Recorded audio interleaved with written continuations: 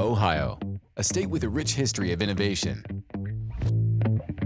Where the past, present, and future of manufacturing converge. Two centuries ago, Ohio became a leader in glassmaking, reimagining the future of manufacturing with inventions like the automated bottle maker. Now, we're the number one glass manufacturer in the nation, with an even brighter future as the leader in solar panel production.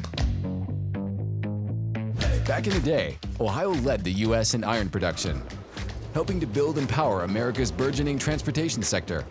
Today, we're driving the nation forward as a leader in battery production, home to companies like Honda, Ford, GM, and Semcorp, an international producer of electric vehicle battery materials.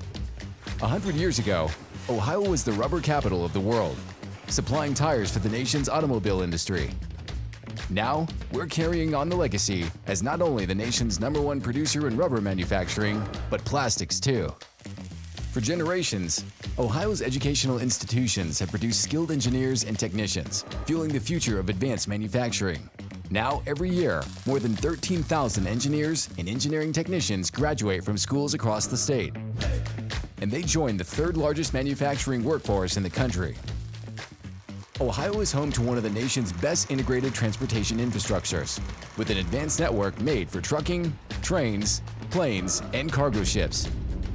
Its central location moves markets, powers supply chains, and brings companies closer to their customers. All Ohio roads, rails, runways, and rivers lead to success in automation, 3D printing, chip production, and more.